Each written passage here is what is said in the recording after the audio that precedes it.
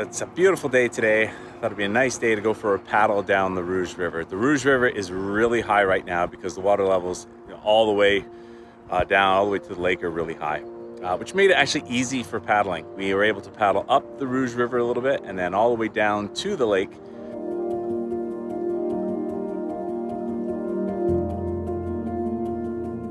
I canoed here,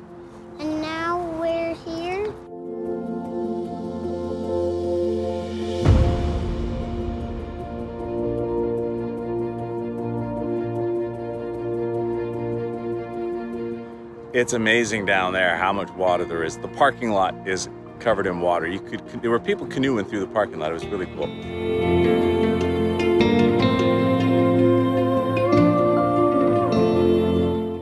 We canoed down the Rouge River to the lake and beached ourselves, had a walk around.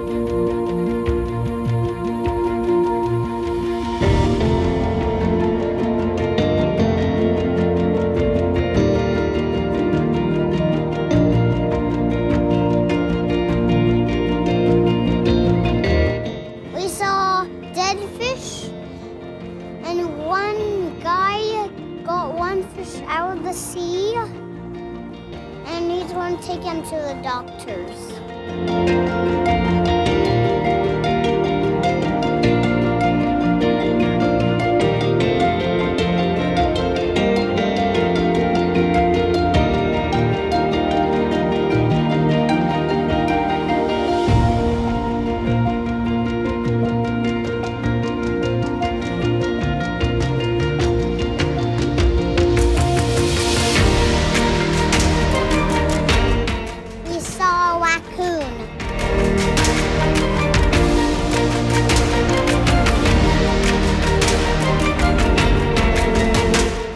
Paddled back up and uh, we took the tributary along the Little Rouge River. We were able to get quite a ways up. Um, I was curious to see how far we could actually get until we hit a spot where we couldn't go any further. So now we have beached and we're going to portage back to the cars and head home. It's been a great day.